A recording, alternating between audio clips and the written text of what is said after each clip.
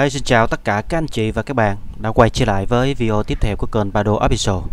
À, ở video này mình sẽ uh, chia sẻ cho tất cả các anh chị và các bạn về cái uh, những cái thao tác để chúng ta vẽ cái logo dựa trên một cái logo của người ta có sẵn. Thì ở đây mình sẽ sử dụng cái logo của Sony Ericsson ha. Mình sẽ uh, uh, vẽ lại cái logo này thì các bước thực hiện như sau. Thì các anh chị trước tiên là các anh chị sẽ vẽ một cái hình tròn ở ngoài logo trước. Chúng ta vào trong công cụ Elect Tool ha. Chúng ta vẽ cái hình tròn.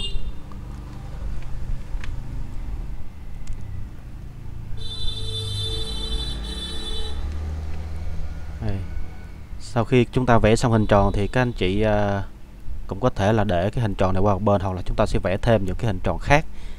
Thì bây giờ chúng ta sẽ vẽ thêm một cái à, cái cái hình như thế này thì chúng ta có thể là chúng ta sẽ sử dụng cái ờ, công cụ ờ, pen tool thì các bạn các chị sử dụng công cụ pen tool ha. Thì với cái thao tác này sẽ giúp cho các anh chị là chúng ta sẽ biết được cách vẽ và cái uống cái được các đường cong từ trong pen tool thì bây giờ chúng ta sẽ lít vào cái điểm này nè. Các anh chị sẽ lít cho mình khoảng 3 điểm. À, nếu các anh chị mà chưa quen thì các anh chị có thể lít từ cái khoảng này nè cái khoảng cong này tới khoảng này. À, là một điểm. Rồi sau đó từ khoảng này tới khoảng này là một điểm. Và từ khoảng này đến khoảng này là một điểm. Rồi, sau đó chúng ta sẽ à, vào ở trong cái à, các anh chị sẽ lít, ha, sẽ lít vào trong cái đối tượng vẽ thế này nè, cái đường vẽ. Sau đó chúng ta sẽ vào trong cái sàn sát tool các anh chị lít vào ngay chỗ những cái cái đường mà các anh chị sẽ sẽ uống công thì các anh chị sẽ lít vào trên cái đường này. Rồi sau đó chúng ta sẽ đưa vào trong cái convert cover ha rồi bây giờ chúng ta sẽ nắm ở trên cái đường này chúng ta kéo nè. Các anh chị thấy không? Đó nắm trên đường này chúng ta kéo. Thì khi đó nó sẽ, khi các anh chị lít vào các cái điểm cuối này, thì nó sẽ hiện ra những cái ờ, cái đường mũi tên. Thì để cho các anh chị ờ, chúng ta căn chỉnh. Rồi những cái đường này chúng ta cũng kéo ra như vậy. Và chúng ta sẽ căn chỉnh. Thì đây là cái thao tác mà giúp cho chúng ta thực hiện cái ờ, các cái chỉnh, cái trong phần xếp tool ha.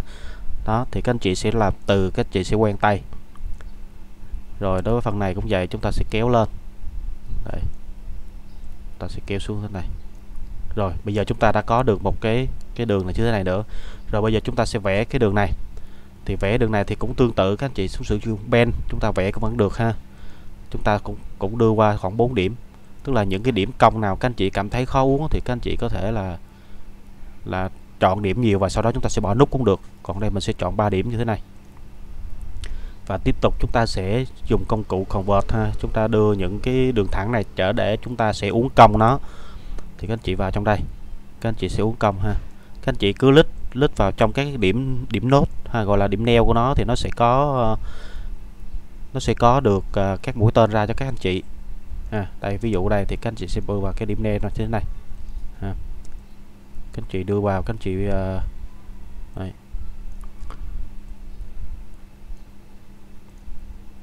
cái này chúng ta cũng giống như chúng ta sẽ thực tập. Rồi bây giờ chúng ta đã có được uh, cái hình dạng ở phía ngoài của uh, cái logo thì bây giờ chúng ta sẽ copy uh, chúng ta sẽ đưa cái đối tượng làm hết uh, chúng ta sẽ sẽ chọn hết tất cả các đối tượng vẽ ha. Chúng ta đưa qua một bên như thế này.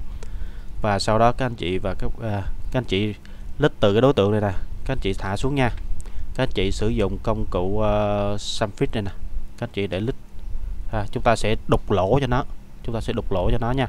Thì các anh chị sẽ chọn vào đây à, bây giờ để tô màu cho các anh chị nhìn rõ nè bây giờ chúng ta sẽ làm lại nha thứ nhất các anh chị tô một cái màu màu xám này thì các anh chị muốn lấy cái màu xám bên đây các anh chị bưa qua thì các anh chị sử dụng cái công cụ uh, Color Adapter Tool ha các anh chị lít vào trong cái cái cái cái, cái bộ phận hút mực này các anh chị đưa vào trong đây các anh chị lít trái chuột các anh chị hút mực và các anh chị đưa vào đây các anh chị lít trái chuột là nó sẽ ra rồi bây giờ các anh chị sẽ chọn cái đường mà đường đường uống này đối với với cái công cụ hình tròn ngoài các anh chị vào trong công cụ ờ, uh, Simplify ha. Đây thì nó sẽ đục nó đục xuống đây.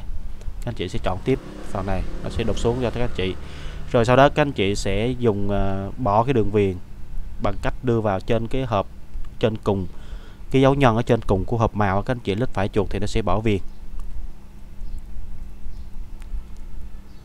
Rồi bởi vì thì ở đây các anh chị sẽ thấy cái logo này nó sẽ có sử dụng cái uh, uh, hình chỉ sắc thì chúng ta sẽ vào trong cái bộ phận tô màu nè Interest Tool ha. Chúng ta sẽ chuyển sắc cho nó vào à, uh, Font Fill. Rồi bây giờ chúng ta sẽ muốn di chuyển điểm thì chúng ta sẽ kéo à, các điểm này chúng ta sẽ chúng ta sẽ kéo ra.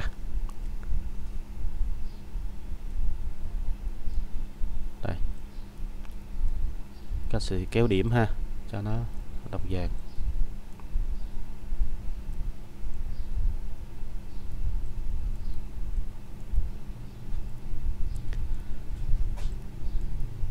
Rồi khi các anh chị kéo điểm bây giờ các anh chị sẽ bỏ bớt qua đây.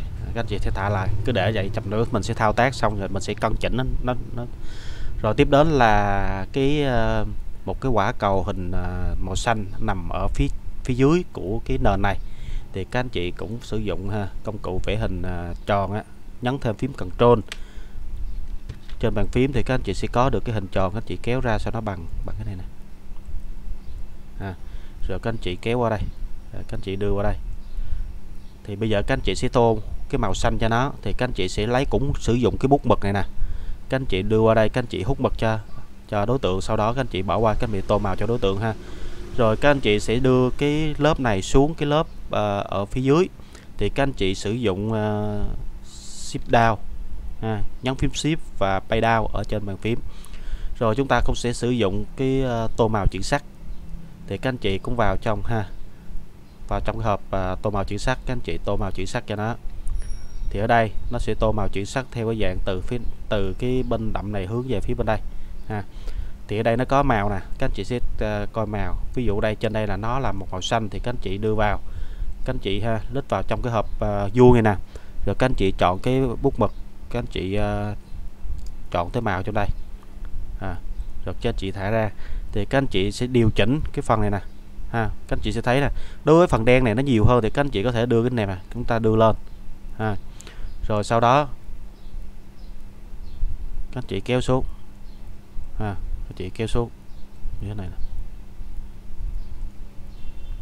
bên đây là nó dạng hình cong. Ha các anh chị đây là tức là nó dạng theo cái hình cong là các anh chị thấy ha để nó sẽ theo là dạng hình cong. Còn đây tô màu chuyển sắc này là, là nó đang theo ở dạng hình à, hình vát mình vát thẳng cái này. Thì bây giờ mình trên đây nè, mình sẽ chuyển qua thành phần hình elip rồi. Ha, chúng ta đưa chuyển này xuống và chúng ta sẽ đưa cái đầu này lên trên nè. Các anh chị thấy không? Nó sẽ đưa cái hình vát nó rất là nhiều, đúng không? Đây. Đây, các anh chị sẽ thấy. Ha, đó.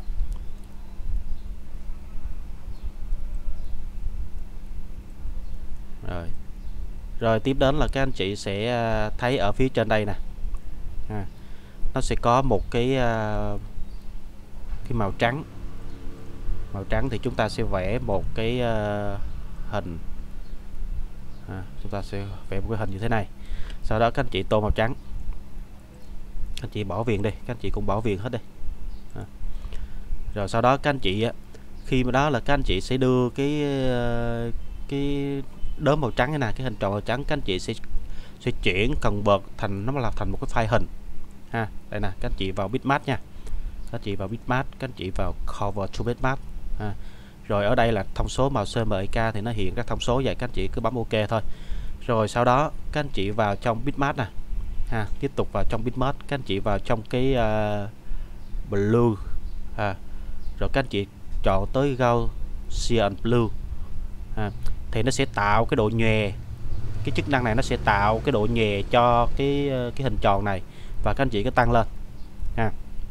Các anh chị sẽ tăng lên. Bây giờ các anh chị sẽ thấy là nó, cái độ nhẹ nó lan rộng ra, ha. Rồi chúng ta sẽ bấm ok và chúng ta sẽ coi thử đúng chưa? Đây, chúng ta di chuyển đây, ha.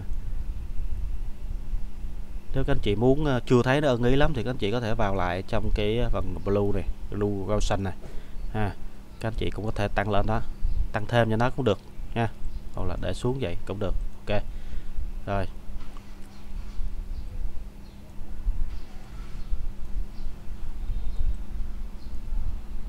Rồi. Ở đây cái cái cái hình tròn này nó cái màu ở đây nó hơi nó nó, nó trắng đúng không? Tại khi các anh à, các à, anh chị thấy là ở trên đây là nó sẽ à, nó sẽ không thấy ha. Nhưng mà tại vì mình copy qua nó nó nó, nó, nó cái nền nó màu đen nên mình thấy nó rất là rõ. Còn trên đây mình sẽ vẽ như thế này. Cho đó chập nữa mình sẽ cân lại. Bây giờ mình sẽ cân lại nè cái nền nè. Bây giờ các anh chị các bạn thấy là đây bây giờ mình sẽ lấy cái màu cho nó đậm hơn một chút. Tức là mình sẽ lấy cái màu này. Đấy bây giờ các anh chị sẽ thấy là bây giờ cái màu trắng của nó nó đã màu đen của nó nó đã ấy hơn ha. Màu đen nó sậm hơn nó sẽ rõ hơn về cái logo của Sony Ericsson này. À, chúng ta sẽ kéo ra. Hoặc là ta kéo kéo vô. À, chúng ta kéo phần này cũng đây. đây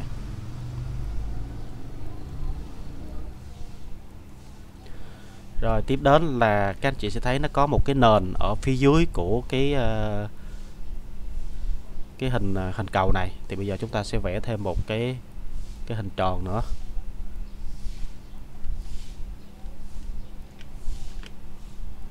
Chúng ta đặt sao cho nó nó vừa khít thế này ha rồi bây giờ cái hình tròn này thì nó sẽ là tô màu chuyển sắc ha, theo màu và hình vát cũng được.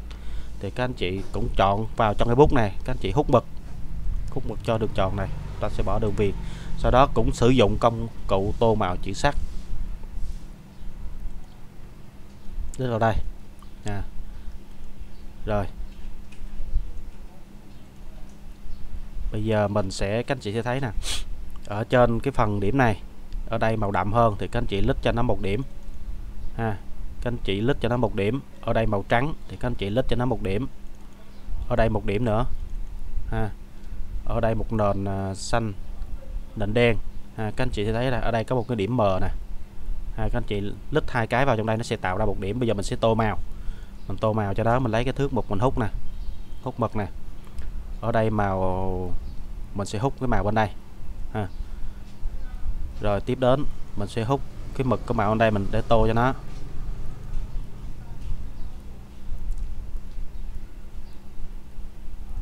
rồi, tiếp đến, chúng ta sẽ hút mực những cái phần như thế này Đấy. và mực trên đây thì à, chúng ta sẽ hút mực Đấy. ở trên đây nó màu à, màu hơi xanh nè các anh chị cũng tiếp tục chúng ta sẽ hút theo cái phần mực của này. À, ở trên đây nó đen thì chúng ta sẽ tạo thêm một cái điểm nữa. Chúng ta cũng hút mực để cho nó phù hợp với lại cái đường này nè. Rồi ha.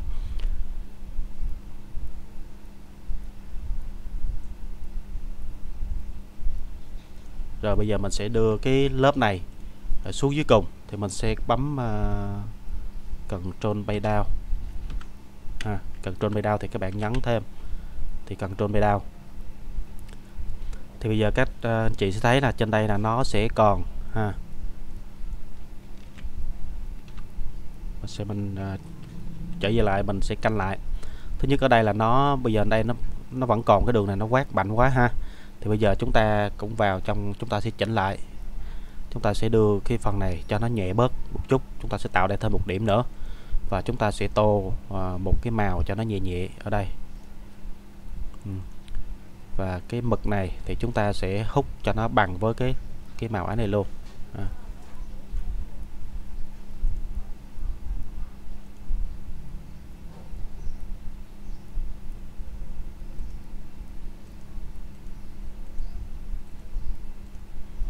này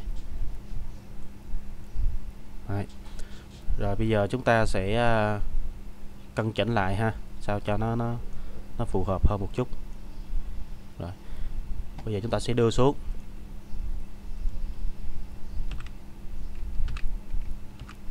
Rồi bây giờ ở đây nó màu đen rồi bây giờ ở đây nó còn một lớp ha ở đây nó sẽ còn thêm một lớp đen nữa một lớp màu đen để cho nó nổi lên. Thì uh, các anh chị sẽ vẽ thêm một cái lớp màu đen. Các anh chị thấy ở đây nó còn thêm một lớp nữa nè thì chúng ta sẽ vẽ thêm một lớp nữa thì ở đây các anh chị dùng ben ha các anh chị giữ các anh chị đương chột lên đây một cái sau đó các anh chị là tới điểm này là các anh chị giữ trái chuột luôn các anh chị kéo luôn ha, các anh chị kéo cho tạo một cái điểm cong luôn và sau đó các anh chị giữ phím Underlast trên bàn phím á, các anh chị đưa con trỏ chuột này nè chúng ta vào trong cái góc này các anh chị lít trái chuột một cái là nó sẽ trở về đường thẳng và sau đó chúng ta sẽ tiếp tục ha, chúng ta đưa xuống đây và các anh chị sẽ giữ trái chuột các anh chị kéo lên ha các anh chị kéo lên thế này rồi các anh chị thả ra sau đó các anh chị sẽ các anh chị sẽ vào trong uh, khi kéo ra nè các anh chị có thể vào trong sáp tool ha các anh chị uh, dùng cái mũi uh, lít vào cái mũi tên đó, các anh chị căn chỉnh này sao cho nó ra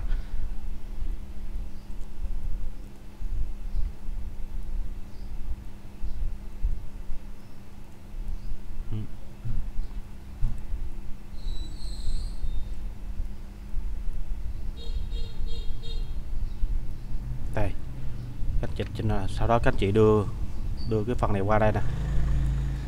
À, còn đây.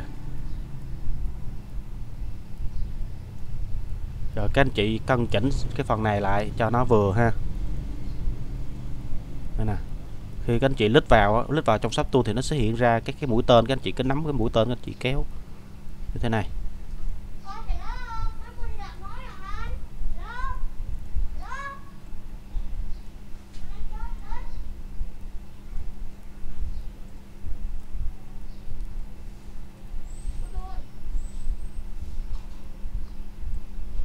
Rồi sau đó các anh chị sẽ tô màu. Tô một cái màu. Các anh chị sẽ lấy à, cái phần à, hút màu nè. Các anh chị hút ở đây các chị bảo ở đây. Các anh chị tô. Thì à, các anh chị thấy ở đây nó có có cái màu màu hơi lợt đúng không? Thì chúng ta cũng sử dụng công cụ tô màu chuyển sắc chúng ta sẽ tô ở đây như thế này. Các anh chị đưa qua. À, thì ở đây các anh chị sẽ lấy cái màu đen của nó nè. Lấy cái màu dưới đây ha. Các anh chị lấy màu đậm đây còn ở trên này các anh chị lấy màu hơi lợt một chút. Rồi các anh chị sẽ lấy một cái màu hơi lợt một chút ha. Các anh chị lít vào trong đây. Rồi các anh chị lít trên đây. Thì cái màu ở đây nó sẽ hơi uh, nó sẽ hơi sáng một chút.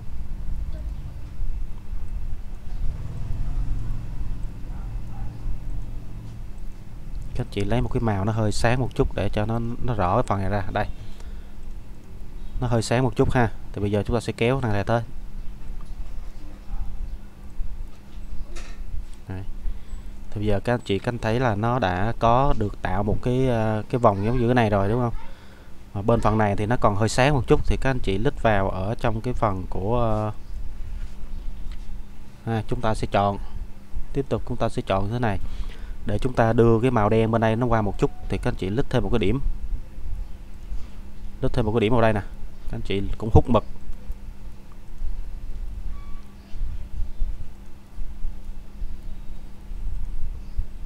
À, à, chúng ta sẽ hút bật bây giờ chúng ta thấy đây phần màu đen này đúng không?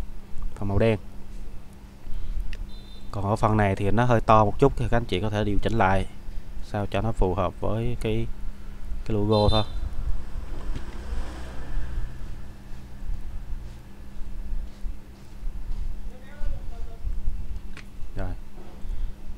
Rồi tiếp đến nữa là các anh chị sẽ vẽ thêm ba cái dấu chấm này thì ba dấu chấm này thì khá đơn giản các anh chị chỉ cần ba vẽ ba cái hình tròn thôi à.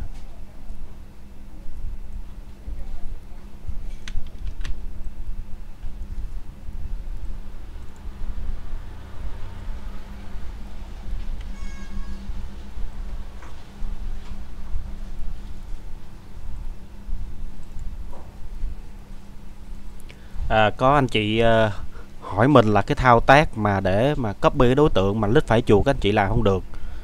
Thì các anh chị sẽ làm. Để kéo một cái đối tượng này ra. À, để tô màu một cái đối tượng thế này. Thì để mà kéo được cái đối tượng này ra để copy đối tượng này ra thì chúng ta có thể là nhấn phím cần trên C hoặc là cần à, bắt ra là cần trên V cũng giống như Word thì nó vẫn được ha. Chúng ta sẽ cần trên C nè. Thì sau đó chúng ta sẽ cần trên V thì các chị kéo ra nó vẫn được còn nếu mà các anh chị muốn copy theo cái dạng mà mà nhất phải chuột á, thì các anh chị giữ trái chuột là ha. Lít vào đối tượng giữ trái chuột kéo qua giữ trái chuột kéo qua vẫn giữ trái chuột sau đó các anh chị đồng thời các anh chị lít phải chuột thêm cái nữa. À, là chúng ta sau đó chúng ta phải thả ra hai cái thì nó sẽ ra như thế này nha. À, có thể là mới các anh chị lít chưa nó quen nhưng mà các anh chị các chị lít uh, thường xuyên thì nó, nó các anh chị nó quen thôi.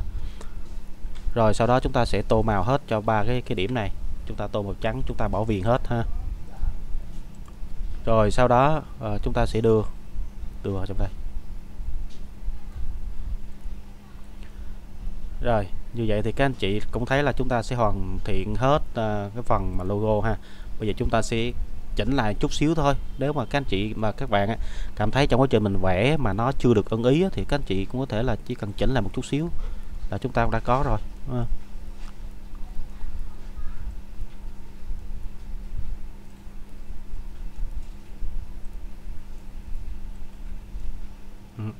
các anh chị chỉ là thì bây giờ các anh chị sẽ thấy là chúng ta đã vẽ được một cái logo của Sony Ericsson. Thì ở cái bài tập vẽ này thì à, các anh chị à, thấy là à, mình đã áp dụng cũng áp dụng lại cái gì? Thứ nhất là vẽ hình tròn ha, bằng công cụ ellipse tool nè. Thứ hai là các anh chị sử dụng pen để các anh chị vẽ à, những cái đường ừ, nối và sau đó các anh chị uốn cong. À, các đối à, cạnh đối tượng bằng sử dụng à, sub tool à, và chúng ta sẽ sử dụng tô màu chữ sắc. À, thì đây là những cái công cụ mà những video trước mình đã chia sẻ rồi. Thì các anh chị thấy là à, chúng ta khi mà làm qua làm lại thì nó vẫn có những cái à, à nó chúng chiếu yếu là những cái công cụ này ha. Thì à, chúng ta vẽ. Thì cái đó là chúng ta sẽ cũng áp dụng những cái cái cái công cụ đó mà chúng ta sẽ vẽ theo cái mẫu ý tưởng của chúng ta thì đây là một cái một trong những cái bài tập vẽ logo mình thấy là nó sẽ áp dụng nhiều cái uh, lý thuyết ở trong chúng ta đã học rồi. Thì các anh chị cố gắng là khi mà các anh chị mà muốn ờ, học thành thạo Corel thì các anh chị phải uh, thường xuyên các anh chị vẽ. Các chị có thể là ví dụ như học về phần uh, thiết kế Canvas thì các anh chị có thể là đào nhiều cái mẫu Canvas về. Các anh chị uh, làm các anh chị vẽ theo những cái mẫu đó thì chúng ta sẽ hình dung ra được là khi đó chúng ta đã quen được cái ý tưởng rồi. Thì khi mà làm một cái card visit của khách hàng thì chúng ta sẽ chỉ cần áp dụng là chúng ta sẽ có thôi. À. rồi video chia sẻ của mình tới đây kết thúc hy vọng là các à, anh chị và các bạn hãy cố gắng à, luyện tập thật nhiều. À, chỉ còn có cách là chúng ta phải luyện tập thật nhiều thì chúng ta mới thành thạo trên Corel và chúng ta làm thôi. À, thì Corel nó không khó nó chỉ có tất cả các công cụ đó thôi các anh chị thấy không? Cũng tất cả các công cụ đó thôi nhưng mà chúng ta làm được rất là nhiều à, những cái ý tưởng. À, để chúng ta phục vụ cho công việc của mình. À, nếu các anh chị và các bạn cảm thấy video này hay và có hữu ích thì các anh chị hãy share để cho mọi người cùng theo dõi. À, nếu các anh chị cảm thấy à, video này à, nó sẽ giúp ích rất là nhiều cho tất cả các anh chị à, mới ha thì các anh chị hãy đừng quên bấm like để ủng hộ tinh thần cho video. Còn nếu các anh chị nào mới vừa ghé qua kênh Bado Official thì các anh chị hãy cố gắng giúp mình đăng ký kênh để kênh này càng phát triển và bây giờ xin chào và hẹn gặp lại tất cả các anh chị và các bạn ở video sau. Chúc các anh chị và các bạn thật nhiều sức khỏe và thành công trong công việc của mình ha.